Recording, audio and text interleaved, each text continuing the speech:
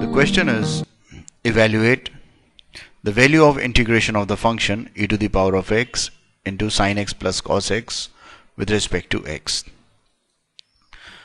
Now to solve this question, first of all we take the given integral and we see that we have been given two terms in the integral. One is e to the power of x and second in the bracket sine x plus cos x.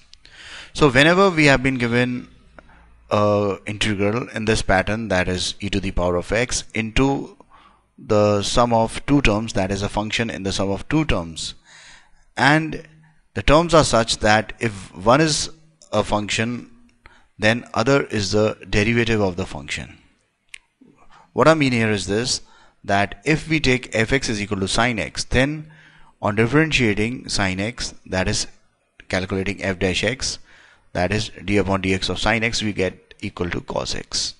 So whenever we have been given a function to integrate which is in the form of e to the power of x plus a function and its derivative that is the sum of its sum of the function and its derivative then this question can be solved in a very easy manner and the result which we are going to use is that the integration of e to the power of x into fx plus f dash x with respect to x is equal to e to the power of x into fx plus c.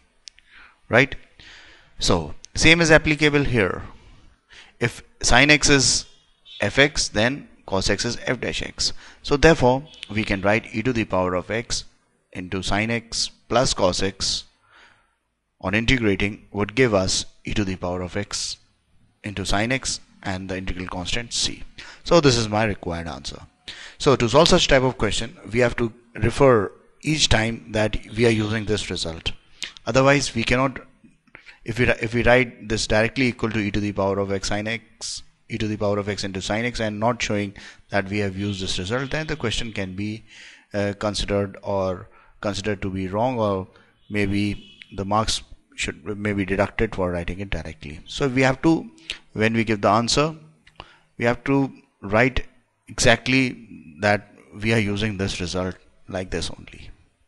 Okay. Thank you. Please support us by subscribing to our channel by liking this video and giving your comment for the video